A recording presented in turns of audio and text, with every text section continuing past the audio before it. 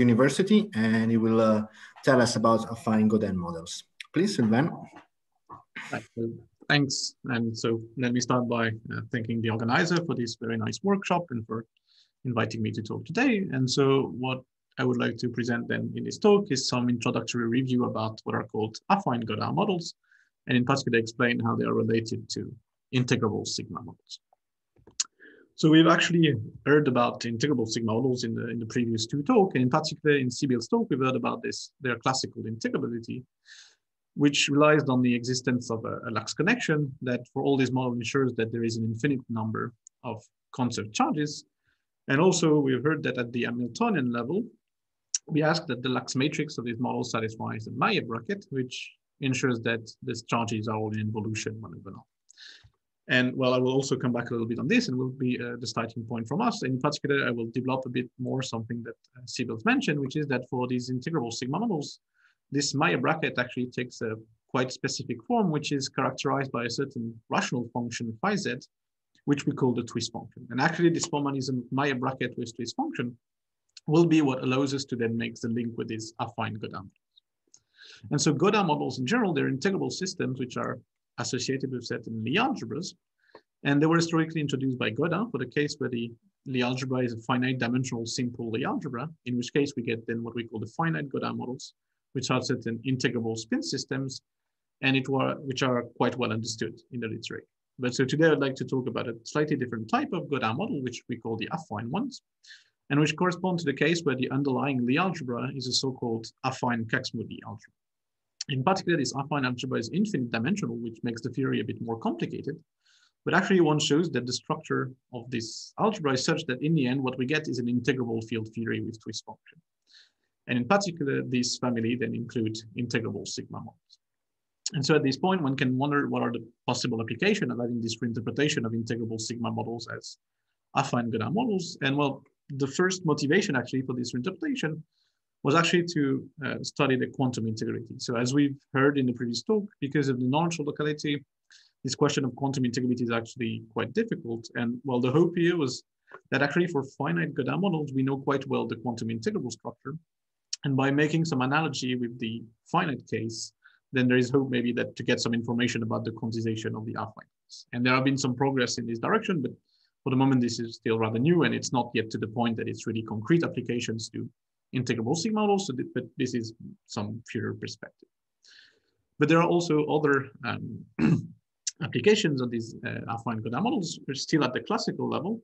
And for instance, one can use this kind of formalism, which is rather systematic formalism, to construct, for instance, new integrable sigma models. And this I will mention a few words about this today. So the idea then for this talk is to give some introduction about these affine Gaudin models. And well, the plan will be the following. So I will start by some preliminaries about Poisson brackets and tensor notations to fix the notation and the formalism, which in particular will allow me to uh, discuss a bit then this um, Hamiltonian integrability and come back on the notion of my bracket and twist functions. So this will be mainly building on what Sibyl said. And then I will go to then the description of these uh, affine Gaudin models. So as I mentioned, these have an abstract origin in terms of these affine Kac-Moody algebra. I will actually not enter too much into the details of this abstract origin. I will actually more focus on um, how to treat these models in the end, but I, will just say a few words about it. And finally, I will then discuss what's the notion of a realization of an affine Gaudin model. And this is what will allow us to really make the link with integrable sigma models. And particularly, we'll say it on a, on a specific simple example. Okay, so let me start when with some general preliminaries about Poisson brackets and tensor notation to fix then the formalism. So we'll be considering an Hamiltonian field theory with one special coordinate sigma, which can be either on the real line or on the cycle, and we just put the appropriate boundary condition. And we'll denote the fields of the theory as some rho i sigma, so that the phase space then of the, the theory is uh, just a configuration of these fields equipped with certain Poisson brackets between the different fields at different values of space coordinates. And the uh, dynamics of the model is then defined by the choice of an Hamiltonian, whose Poisson bracket then define for us what's the time derivative of the theory with time coordinate time. And a canonical example of such an Hamiltonian field theory is if we start with a Lagrangian field theories, which have fields phi i sigma, then I can get to the Hamiltonian formulation of this model And to get the phase space, I first double the, the field. So I add to each code, to each fields phi I sigma, I, I add the corresponding moment of fields phi I sigma. And I equip all these with the canonical brackets, right? With phi with phi and pi with pi is zero. And pi with phi is a Dirac distribution in the um, spatial coordinate and the Kronecker delta. And these phi and pi, they're just then the field theory equivalents of the canonical coordinates qi and pi that we have in classical mechanics. And in this talk, we'll actually have to uh, use a lot the um, Poisson bracket of, Uh, of fields which are valued in Lie algebra. So to set up the notation, these are actually the same notations as in Sybil talk, but just to remind them. So let's consider the algebra G finite dimensional here with some basis TA and structural constants FABC, which are defined by the commutation relation in the basis. So typically here we can think of it as a, an algebra of matrices where the bracket is just a commutator, for instance, SUN, GLN, and so on. And let us then consider fields which are valued in the Lie algebra.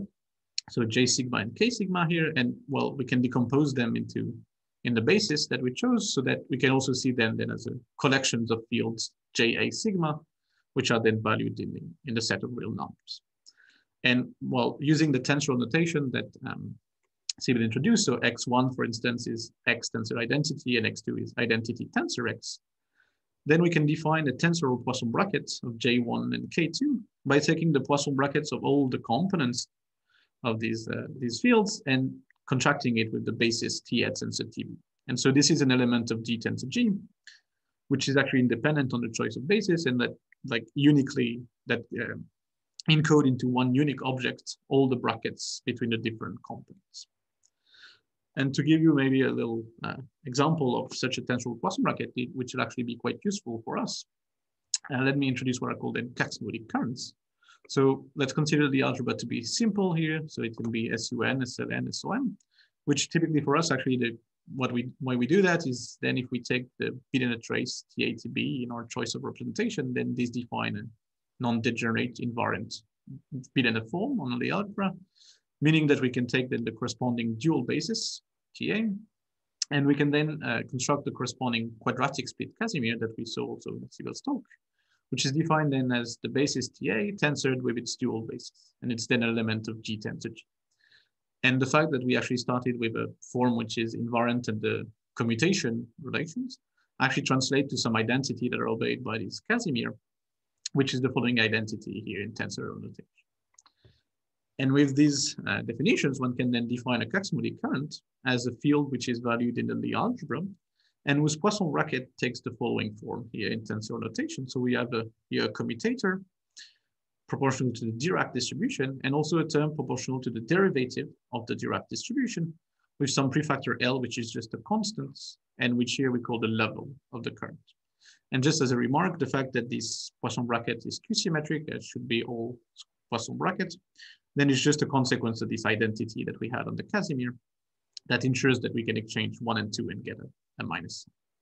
And to give then some intuition about how these uh, tensor brackets look like, if we go back to components JA sigma, then actually this bracket is equivalent to the following bracket in components, where for instance here, so we get FABC JC. So these are just like, like the commutation relation of all the algebra, but now it's a field theory version of it where in particular we have this Dirac distribution, for instance. And then here we have the, the derivative of the delta term, then proportional to the odd choice of bilinear form. And now, well, with the notation, I can come back a little bit on this uh, notion of Maillet bracket that we saw and then go a bit further and discuss this twist function. So as we saw in Sybil's talk, so um, for integrability, we require lax connection, which are a pair of two matrices L sigma and L tau valued in the Lie algebra that depend on the auxiliary spectral parameter Z and that satisfy a zero curvature equation, And this then gives us an infinite number of concept charges extracting from the lax matrix L sigma and more, more precisely from its monodrom. And for these charges to be in involution, we then ask uh, that we have some conditions on the Poisson bracket, the lax matrix. And one of these conditions, which will be the one we'll be focusing on, is the Maillet bracket, which take the following form here in tensorial notation, and which in particular uh, then involve one object, which is the R matrix, which is then this matrix in G tensor G, which depend on the two spectral parameter Z and W. And this R matrix then capture the integrable structure of the theory, the Hamiltonian level. And well, one can wonder then, are there conditions on this R matrix? Can we take whatever we want? Actually, this Sibils also discussed it a little bit. And for that, we need to look at the properties of a Poisson bracket. So a Poisson bracket should always be skew-symmetric, but actually one check that the way this is defined, this is always skew-symmetric without any condition on R. But it should also satisfy a Jacobi identity. And that, well, is ensured by asking that the R matrix satisfy the classical Yang-Baxter equation, which is this algebraic condition on the matrix R here, which involve then uh, commutators in free tensor, free copy, free tensor copies of the Lie algebra. And a typical example of a solution of this CYB that actually will be useful for us is constructed by taking this split quadratic Casimir C12 that we had before and dividing it by W minus Z. And then, well, if you remember this Casimir, it obeys some identity respect to commutation, which in particular here implies the following properties. And by reinserting this inside of the CYB, indeed one check rather easily that this is a solution of this classical Yang-Baxter equation. And now I can, well, make a quite simple, but actually quite crucial observation for what we would like to, for, for what's coming next, which is that if we start with a fixed solution R0 of the CYB, so typically, for instance, this Casimir over W minus Z, then I can construct another solution by multiplying it by the function of the second spectral parameter W. And indeed, if we look at the CYB, the second spectral parameter, they always hold Z2 and Z3. So this function, they will just factorize out and if R0 is a solution, then we get another solution. So we then get an infinite family of solutions which are labeled by this choice of function, which here by convention we denote by phi inverse. And this is exactly, then this phi is exactly this twist function that I mentioned in the introduction. And well, for integrable sigma models, at least almost all of them, then uh, they have a lax matrix which satisfies the Maillet bracket, and the R matrix takes the following form. What is the R0 depends a little bit on the nature of the sigma model. For most of them, it's Casimir over W minus Z. For some others, it's a slight modification, but at least for all of them, there is a notion of what is R0 and what is the, the twist function. And in this talk, I will focus just on the case with R0 being the Casimir of a W minus Z.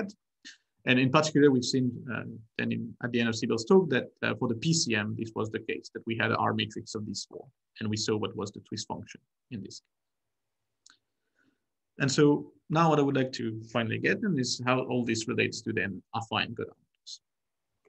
So just for a few references, affine Gaudin models, they were historically introduced then by Feigin and Frenkel in their paper in 2007, and they were then further studied by Benoit Vicedo in, in this paper in 2017, and when in particular particularly made the link with integrable sigma models. And what I will say will be mainly a review of uh, these two papers here. And some of the results uh, will be also taken from this slightly more recent paper here. So to motivate the appearance of these affine Gaudin models, let's consider an integrable field theory with a lax matrix L sigma, and suppose that it satisfies a Maillet bracket with twist function phi z as well. And then to anticipate, we will define a lac, uh, what we will call the Gaudin lax matrix gamma, which is almost a lax matrix L sigma, but multiplied by this twist function phi. And let us now suppose for simplicity that phi z and gamma z have only simple poles at some positions that I will call ZRs. I will explain a little bit later what happened for higher order pole, but for the moment for simplicity, let us suppose simple poles. So that phi z, for instance, I write it in the following way. We pull at ZRs and some residues that I call LR, and maybe some constant term also L infinity. And then gamma also has uh, some residues, JR sigma, which by construction are then fields valued in the algebra. And then here, the nice uh, result is that, well, the Maillet, because we have the Maillet bracket on L sigma, we can translate this to a Maillet, to a bracket on the uh, currents JR sigma. And the result is that this Maillet bracket is actually equivalent to this current satisfying the following uh, bracket here in tensor notation. And well, let us analyze then what we get. So if we take different poles, ZR and ZS with different RNS, then because we have this Kronecker delta, we see that this Poisson bracket then vanishes. So for in the different poles, we have independent uh, current state, they all just Poisson commute. And then we, if we focus on one pole, R equal S, then what we recognize here is just the example of a Poisson bracket that uh, I mentioned before, which has these Kac-Moody brackets. So what we get then is uh, commuting, Poisson commuting Kac-Moody current J R sigma with some levels LR. And remember these LR, they were just introduced here as the residues of this twist function. And well, just as a reminder, in components, if you go back to components in the basis, then this bracket then looks like that. So what we got here is that then in an integrable field theory with twist function, where here for the moment we focused on the case of simple poles, we're naturally led to having then Kac-Moody currents in the integrable structure of the theory. And the idea of a fine Gaudin model is actually to kind of do the, the opposite. Is we start with the Kac-Moody currents as really the fundamental fields of our theory. This is our starting point. And from there, we want to construct an integrable field theory. So in some sense, I will now forget a little bit about the two previous slides. Of course, they will be a guide for us. But now really, I want to start with the Kac-Moody current and show that they're actually naturally uh, an integrable field theory that appears there. And in particular, what we will discuss in how to systematically define an Hamiltonian from there that ensures that the theory is integral. So these affine Gaudin models, they then uh, depend on a certain choice of parameters. So are the levels LR and this what we call the sites ZR, which are just points in the complex plane. And well, for the moment, I take all of them to be complex. Actually, uh, in the end, to really get model of interest, we should impose some reality condition of them. They're either real or coming by pair of conjugate, but I will actually not discuss this reality condition today for time reason. So everything will be complex here. And then, well, as I said, the uh, fundamental fields of the affine Gaudin model was then this Kac-Moody current JR sigma, which then define the phase space of the model, which is equipped with the bracket of n commuting Kac-Moody currents. And in particular, the levels LR in the choice of parameters of the model, they enter the definition of these brackets, so they enter the definition of the phase space. And while these other parameters that are what I call the sites, they actually do not enter the definition of the phase space, but will, as we will see, they will enter the definition of the Hamilton. And well, at the moment, what we can do is we can take all the defining data uh, for this uh, Gaudin model, so the levels, the sites, and the Kac-Moody current, and we gather them into two objects depending on the spectral parameter z, so phi z and gamma z, which of course, by what we saw before, will in the end become our twist function and the Lax matrix. And then now what I'd like to show is how from there we construct the Hamiltonian model that makes it integrable. And for that, it's actually useful to come back a little bit on this abstract origin of these Gaudin models that I mentioned, and in particular to make the relation with how they were historically introduced as spin system.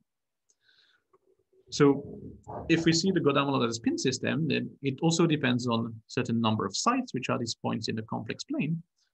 And to each of the site, we will attach spin. And what I mean by spin is just some quantum operators, which have the following commutation relation. So if I look at spins at different sites, then they actually commute, so they're independent quantum operators. And if I focus on one site, they then have the commutation relation of just the spin operators with epsilon ABC, the Levi-Civita tensor. So this is nothing but the commutation relation of the Lie algebra SU2 or SO3 if you want just the infinitesimal rotations. So this Gaudin model at this point, we can see it just as a bunch of sites, and at each of the site, we attach independent copies of all the algebra SU2. And well, this is the quantum Gaudin model, but actually one can look also at a classical one, which is now that our spins, instead of being quantum operators, they become just classical observable. And instead of having commutation relation, we just now have Poisson bracket. But these Poisson brackets are still then like the SU2 commutation relation. And from there, we can define the Hamiltonian of the model by the following. So we define the energy of the site R, HR, by the following expression here, which have some quadratic spin-spin interaction. So yeah, some interaction between the quadratic interaction between the spins controlled by the inverse of then ZR minus ZS. So the positions of the site that then enter the definition of, of the Hamiltonian. And then we define the total Hamiltonian of the system as any linear combination of these HR. And the interest of this definition is that from the commutation from the Poisson bracket of the spins, which is just this SU2 Poisson bracket, one shows that these HR, they actually all Poisson commute one with another. They are in involution, meaning that they also Poisson commute with the Hamiltonian so that they are conserved quantities. So we naturally then get conserved quantities of involution from this construction. So we naturally get an integrable structure. And actually one can generalize this construction for more general Lie algebras, replacing then, instead of attaching a copy of the Lie algebra SU2 to each site, I attach a copy of a certain Lie algebra G. And then there's a way of defining also an Hamiltonian such that in the end, everything is integral. In particular, one can do this with what are called an affine Kac-Moody Lie algebra. And well, as I said, I won't have the time to really enter into the details of what these are. If you're curious about it, you can ask me after the, the talk and I can maybe say a few more words about it. But the idea is that the structure of these affine Kac-Moody Lie algebra is such that if we attach a copy of this Lie algebra to each site, this in the end turns out to be um, like attaching a Kac-Moody current to each site. So instead of having spin operators, now to each site I attach a certain field, JR sigma, valued in the finite Lie algebra, whose commutation relation are this uh, Poisson bracket are the Poisson brackets of these Kac-Moody currents that we have. And now from there, one would like to then define the Hamiltonian of the model. And actually one could do something similar to what we did in the SU2 case to define the H, an Hamiltonian for each side R with some actually quadratic interactions between the, the Kac-Moody current. And well, this actually would work. And what I will present now is actually something which is purely equivalent to constructing these HR in the affine case, but it's some sense choosing another basis than the HR, which are just the linear combinations of the HR, which actually will be more useful for us uh, for, for later for some reasons. So let me explain then how it goes. So we start with our twist function phi z, and we start by then putting in on the same denominator that then allows us in particular to introduce the zeros of the twist function, which we call zeta i's, so endpoints in the complex plane also. And to each of these zero, we will then associate a certain quadratic local charge qi, defined as the residue at zeta i of this quantity qz here. So to construct qz, we take the Gaudin Lax matrix gamma, we contract it with itself through the, the, the choice of being in the form that we had. We integrate over space and we divide by the twist function. In particular, because we divide by phi, we have then poles at the zeta r's here, so we can define this corresponding residue.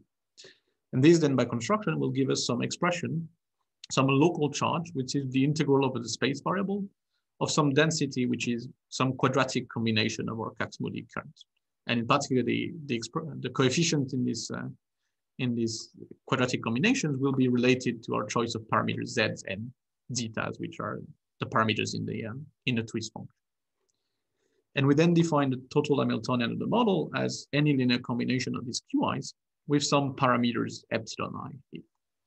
And well, here also, this definition is such that in the end, from the Poisson bracket of the Kac-Moody current, JR sigma, which are here my starting point, one can show that these QIs are all in involution one way another, meaning that they also commute with the uh, Hamiltonian, so they're conserved. So we naturally also get here some conserved quantities in involution. So this is the first good start towards having the integrability of the system. But because we're looking at a field theory, we would like more than just some conserved quantities in motion. We want like an infinite number of them. And typically you would like, for instance, to have a Lax connection. And this actually can be naturally constructed in this formalism of Hamilton, of affine Gaudin models also. And well, the way we define a Lax matrix is simply by taking the ratio of the Gaudin Lax matrix gamma by the uh, twist function phi z. And actually here, this what we do is kind of the reverse of the what we had in these first two slides when we motivated the appearance of Kac-Moody current, where we say that if we had a Lax matrix with some twist function, then by defining phi times L, we saw that the um, the residues would be would be Kac-Moody currents. Now we're kind of doing the opposite. We have the Kac-Moody current is our starting point, which defined in gamma and the twist function phi. And then I define L as gamma divided by phi. And then by construction, this will satisfy the Maillet bracket because I started with Kac-Moody currents. And well, just as an observation here, uh, gamma and phi, they have the same poles at the ZR. So these poles will actually cancel together. And in the end, what we get, we get poles at the zeta so at the zeros of the twist function for this LC. And if we do the partial fraction decomposition, we actually find that uh, the corresponding poles are like that. So the residues are given by this expression. And well, to get an integrable model, we would like this uh, Lax matrix to satisfy a flatness condition, so zero curvature equation. And for that, we need to uh, compute what's the dynamic of the Lax matrix. And this we also know how to do it because we can compute the time evolution of the Lax matrix by looking at its Poisson brackets with the Hamiltonian H. And this is also some computation that can be done from the Poisson bracket of the Kac-Moody current that we start with. And indeed, when one does it, one finds that it takes the form of a zero curvature equation here, where the temporal part of the Lax connection, L tau, is defined as follow. And what we see is that it takes an expression which is very similar to the uh, spatial part, L sigma. But when we sum over the zeros, uh, we introduce these coefficients epsilon i that were here in this Hamiltonian here. So of course, the way we choose our Hamiltonian, the coefficient epsilon i should enter the definition of what is the uh, time components of the Lax connection because it depends on the dynamic.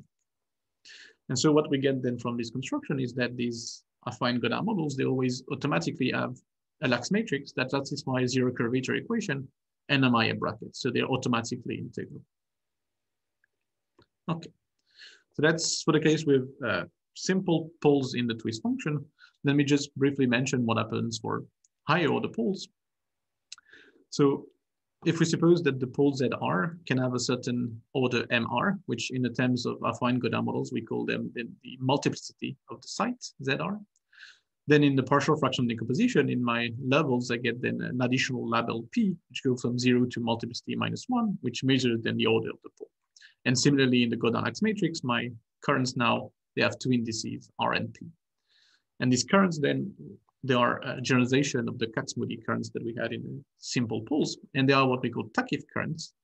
And they satisfy, they should satisfy the following Poisson bracket here, which is a generalization of the Kac-Moody bracket. And so to give an intuition of what this is, so this additional label P, we sometimes call it the Takiff mode.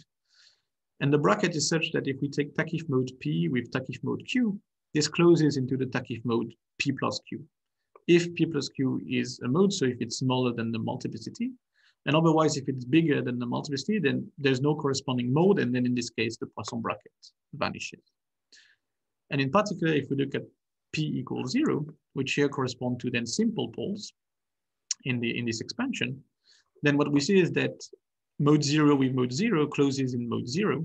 So we're recovered in the Kac-Moody bracket that we had before. So it's still true that the um, simple poles are associated with Kac-Moody currents. And then at a higher order pole, we have this generalization, which are these Takiff brackets. And then from there, basically everything that I said before generalizes to this higher order case. So for instance, we can still define an Hamiltonian as a linear combination of the epsilon i QIs, where the QI is defined as residues at the zeros of the twist function. And then this still defines an integrable theory in the sense that we will have a Lax matrix that satisfies zero curvature equations, so flatness condition, and uh, a Maillet bracket, so it will be automatically integrated. And well, now I would also like to just give a few informations about the, the space-time symmetries of these models. So in particular, uh, we define the Hamiltonian of the theory as the sum of epsilon i QIs. And this in particular then defines the time evolution of the theory, so the derivative respect to the time coordinate. We can also look at the derivative respect to the space coordinates, the sigma, and this by definition is generated by the momentum of the theory. And one can actually show that this momentum can also be expressed in terms of the charges qi, and more precisely, it can be um, expressed as the sum of the QI. And this actually, then what we see is that they're given by the same expression where the epsilon i's are replaced by one. And actually we saw something similar already in the components of the Lax connection, where the spatial and temporal components of the Lax connection at these two expressions, where here also we had once a sum of with one and a sum with epsilon i here. So there is some kind of a parallel between the space and time directions of the system which are made through the coefficients epsilon i. Here. And this can be actually pushed a bit further. And in the end, one can study more concretely the space-time symmetries of the system. And well, a bit more concretely, the way we do it is we, we study the energy momentum tensor of the system, uh, which whose basically densities are related by this choice of Hamiltonian momentum. And in particular, doing that, one in the end finds that the model is relativistic if and only if the corresponding epsilon i's here in the Hamiltonian all square to one. So if they're either plus one or minus one. And this then gives us a very simple condition for the relativistic invariance of the model. And this also is typically one of the reasons why we use this uh, basis QI for the Hamiltonian and not this HR, because for this choice of, uh, ba of basis for the Hamiltonian QI, then the condition for relativistic invariance becomes extremely simple. Okay, so that was more or less what I wanted to say about this abstract, I mean, these affine Gaudin models. And now I would like to uh, define a notion of realization of such an affine model and discuss how this then relates to integrable sigma models. So what we presented before could be seen, uh, could be called then what the abstract affine model. So in particular, uh, it's uh, the model whose fundamental fields are these Takiff currents, right, GRP. And so the phase space is just the configurations of all these currents equipped to the Takiff Poisson bracket. And this abstract affine Gaudin model then depends just on the choice of the twist function phi z of the model that in particular contains the levels which uh, describe what is the, the choice of Takiff brackets obeyed by these, uh, these currents.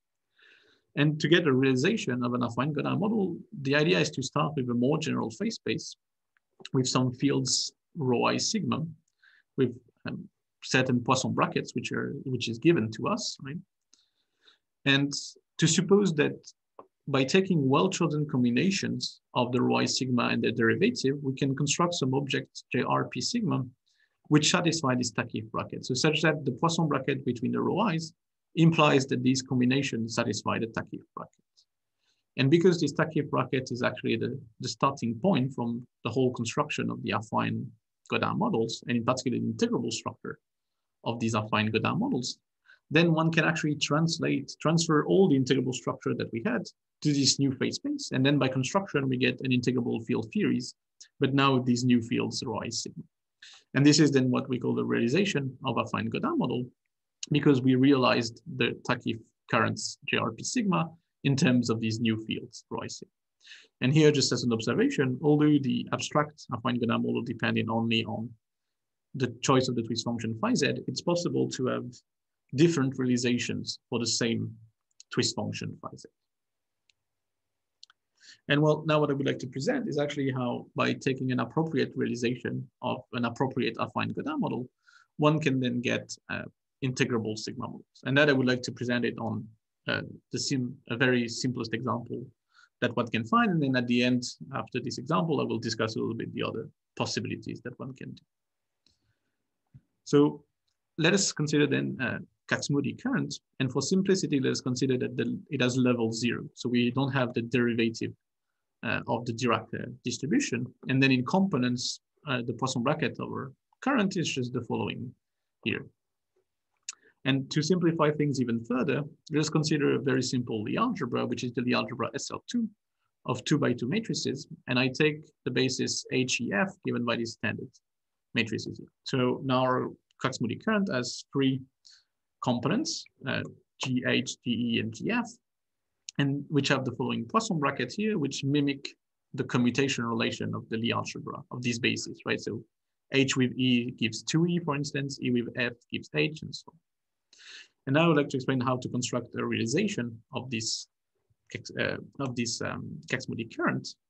And for that, so let us first consider the group SL2, and let us put some local coordinates on this group by writing an element of the group as a product of three exponentials in the generators H, E, and F. And so this, well, as a two by two matrix, it looks like this. And this then puts some, defines some local coordinates on the group SL2. And to construct the realization, we'll then consider the phase space of canonical fields on the cotangent bundle T star SL2. So this might seem like a slightly technical name, but what it means actually is simply the following.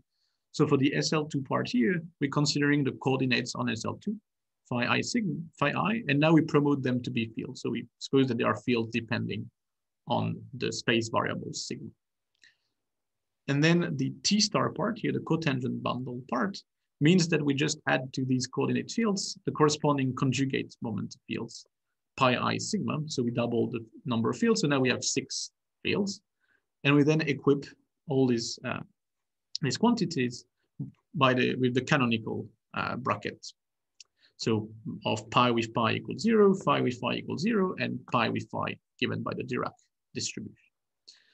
And then here, the idea is that uh, by choose by defining the following expression here of uh, phi and pi, then one can construct a realization of the Kac-Moody bracket. So the idea is that then the, this canonical bracket between the phi and pi implies that this quantity satisfies the commutation relation of this Kac-Moody bracket. And this is just a little exercise to check. Well, actually the, the actual um, expression of this current is not so important. I just gave it here to, to, to see that there is an actual explicit way of realizing it. But then the claim is just that the canonical bracket implies that these are, this is a Kac-Moody current. So we then constructed a Kac-Moody realization in this phase space. And actually one can do even a bit more than that.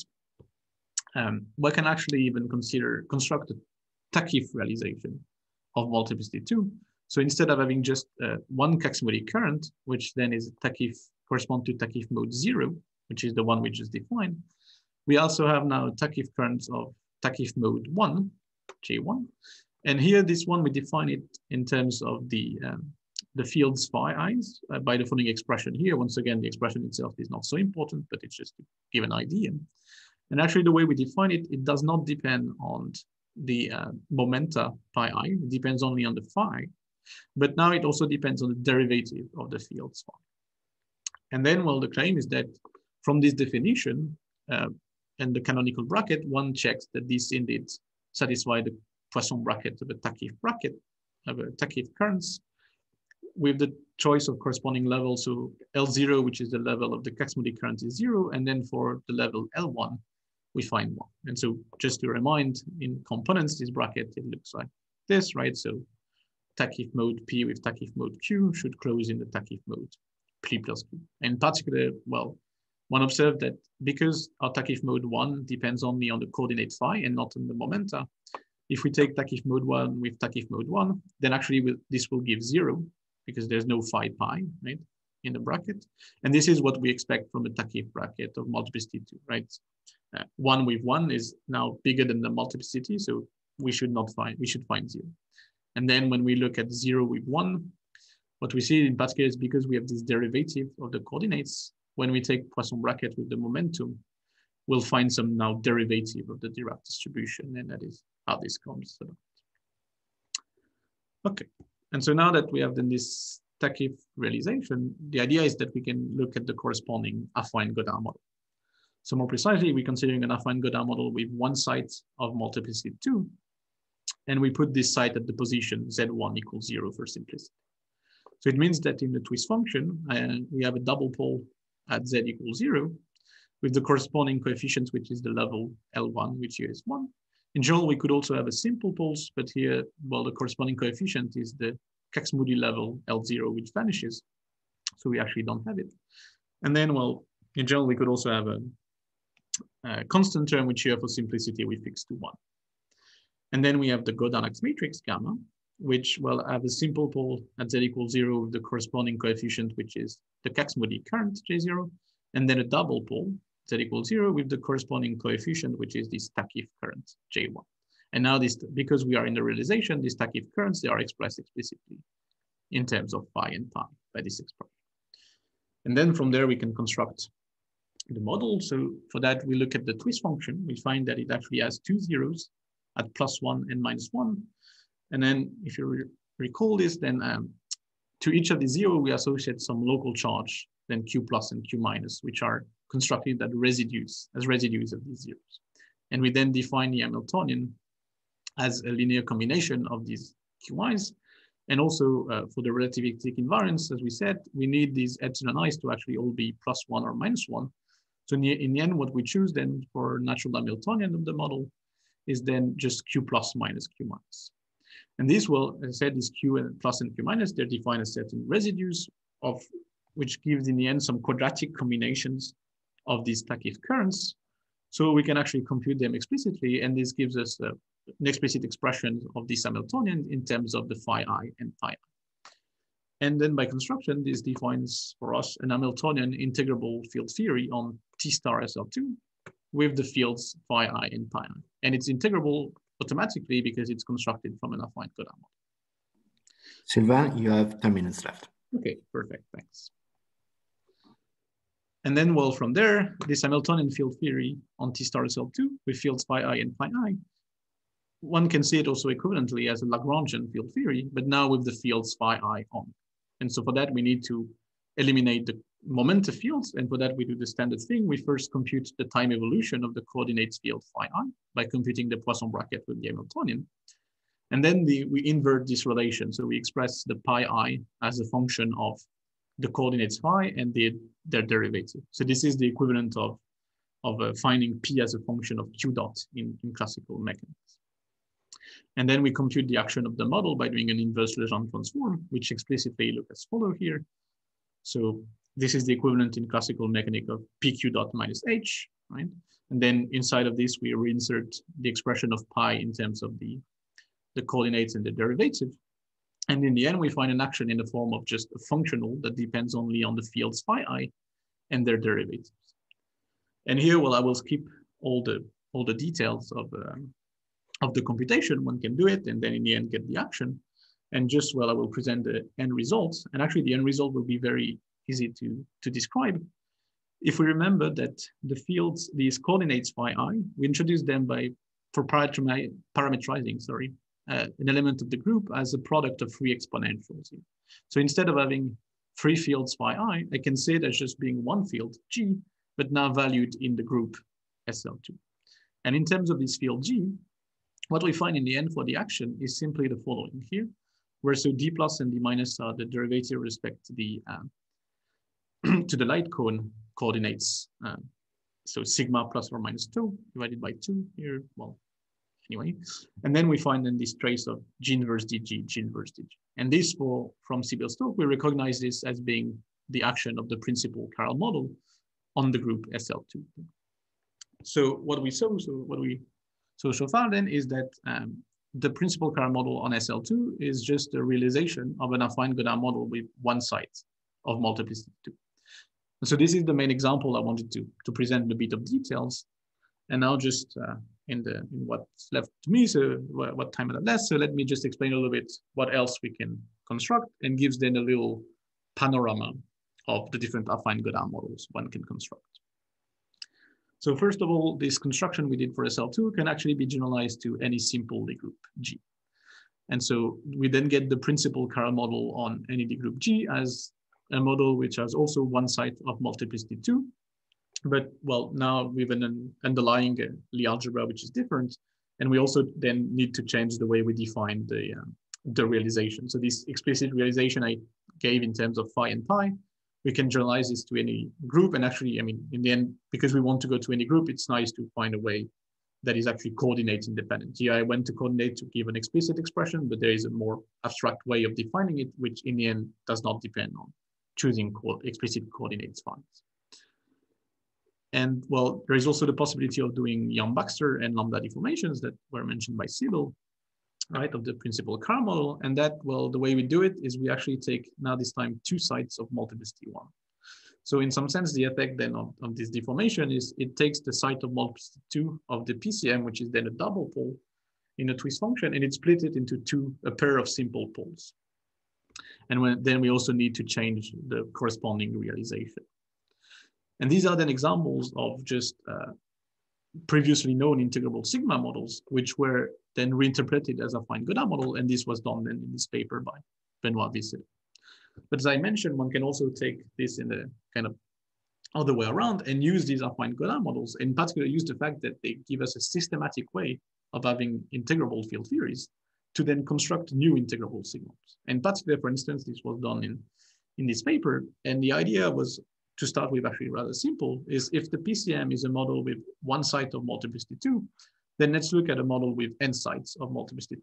And to each of these sites, we attach then independent copies of the realization we found. And this in the end, well, you can do the same thing. You do the Hamiltonian uh, analysis, the inverse Legendre transform, and in the end, you get a new integrable coupled model, this time on n copies of the Lie group. And well, if you do all the details, then the inverse transform is slightly technical, but in the end, you get something like that. So the action depends on n uh, fields gr, which are valued in the, the group. And they all possess what is called the Wess-Zumino terms. I won't enter into the details of how this is defined. It just appear in the action with some coefficients kr. And then there are some PCM-like terms, which now also have some interactions between the different copies controlled by some coefficients for RS. And well, this uh, model for generic rho and k it's actually not integrable at all. But because here we have a construction that comes from affine Gaudin model, it's automatically integrable. And this gives us some specific values of rho and k that ensures the integrability of the model. And well, I won't give these expressions here, but it can be found in the article first. And well, just to complete a little bit then this, um, this panorama. So in addition to these models on, well, group or deformations of group or copies of group, there are also what are called then the coset models, which are defined on a group quotiented by a certain specific subgroup H. And these can also be seen as uh, affine Gaudin models, but of a slightly different nature, which are which is called dihedral affine Gaudin models. And well, this dihedrality, I won't enter too much into what it is. It has to do with this choice of subgroup H. And it changes a little bit the way we define the model. In particular, just to mention it, it changes, um, this is what actually changes this R0, this fixed R0 solution that we had in the definition of the twist function. Actually, when I said that it depends a bit on the nature of the model, well, for coset models, then we have a different R0 but which is also a fixed solution that depends on this choice of H typically. And then, well, basically every, I mean, all the things are generalized to this case, and we have a definition of what is the Gaudin model in terms of Takiff currents and so on, and then we can realize the coset model as these dihedral affine Gaudins. And this in particular, for instance, uh, contains solution uh, sigma models on the spheres or on ADS spaces and so on, which are realized as, as particular cosets. And here also looking at a dihedral model, but this time with n sites, we can get a new integrable sigma model.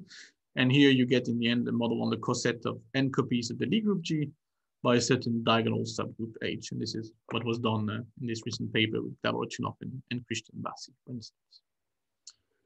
So that then more or less finish I want, what I wanted to say on, about this panorama and just then as a few, let me finish by a few conclusion and perspectives.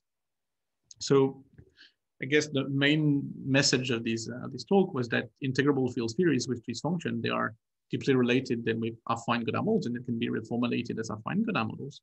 And in particular, by looking at realizations of these affine Gaudin models in well-chosen phase space, one can then recover previously known integrable sigma models, but also then construct new ones. And this allows us to then explore in a kind of systematic way this, this panorama of integrable sigma models and a long-term goal then in this in this direction would be for instance to even classify maybe this, this panorama of integrable sigma models and to finish let me maybe um, finish with some few perspectives and relations with other domains. So for instance uh, one of these domain would be an approach a new approach of integrable field theory that was recently proposed by costello and yamazaki and which is based on a certain four-dimensional variant of the Chern-Simons theory. And this actually, it was shown that this has a very deep relation with affine Gaudin models. In some sense, they're just the two faces, one at the Lagrangian level and one at the Hamiltonian level of the same underlying theory. And in particular, the twist function that played a crucial role in the affine Gaudin model also play a crucial role in the 4d Chern-Simons theory. And in this formalism of 4d Chern-Simons theory, recently, all this was also related to uh, the notion of e-models. And actually this I mentioned because it makes a bit of relation with the talks of tomorrow, because the e-model was historically introduced um, as a, some kind of a double formulation of certain sigma models that make the duality property manifest, and more precisely the Poisson-Lie T-dualities. And the result then of this construction is that in the end, among these e-models, a large class of them can be integrable and they're more or less equivalent to affine Gaudin models in 4d Chern-Simons theory. And well, finally, well, everything that I said so far was at the classical level. So of course, one can wonder what happened at the quantum level. And so let me just, of course, there would be a lot to say here, but let me just say a few words that maybe resonates with what I said in, in this talk. So in particular, one remark is that this twist function that was important at the classical level also seems to play an important role in the renormalization property of this system. And at least as was shown in, in this uh, recent paper here, in some specific example, it seems that the one loop RG flow of these models can be encoded in a quite compact and simple way just in terms of the twist function. And also a natural question, of course, is the question of the quantum integrability of these models and, well, of the one we previously known and also the, the new ones. And this, well, as we said, is a difficult question, but as I mentioned in introduction, there is maybe hope that affine Gaudin models can provide us with a formalism that actually is useful to this thing. And well, also uh, another question is, can we apply even maybe without really proving quantum integrity, but supposing quantum integrability, can we apply uh, factorized scattering theory?